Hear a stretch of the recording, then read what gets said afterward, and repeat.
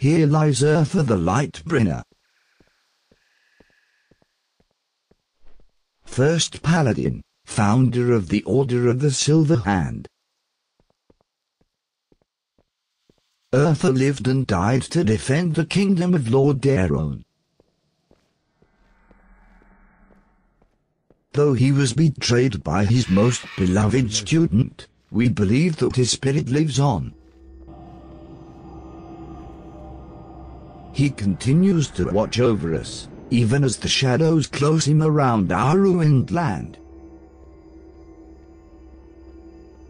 His light is the light of all humanity, and so long as we honor his example, it shall never fade.